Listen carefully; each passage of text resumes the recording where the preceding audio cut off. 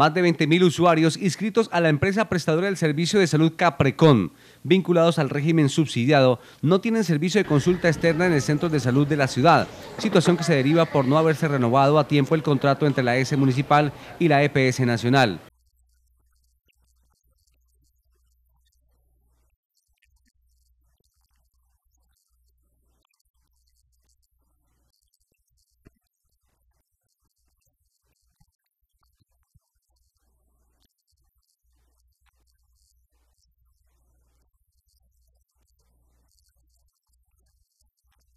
Sin embargo, el gobierno de la ciudad garantiza que los servicios de emergencia se sigan presentando a los usuarios de la EPS Caprecon en todos los puestos de salud de la ciudad.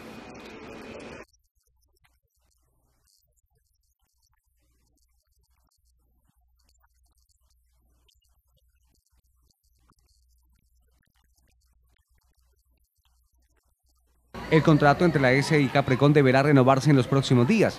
Mientras tanto, los usuarios deberán también esperar los trámites para reactivar el servicio, reiteró el funcionario. Asimismo, indicó que se encuentra en alerta amarilla los centros de salud del municipio por el Mundial y las efusivas celebraciones.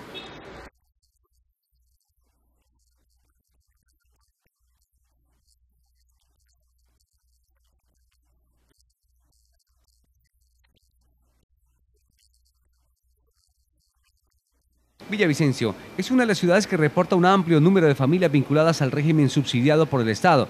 Y el drama es ahora para más de 20.000 familias que no podrán ser atendidas mientras no se reactiva el convenio entre Capecón y la S municipal, a pesar de la deuda de 1.600 millones de pesos que existen de otros contratos anteriores.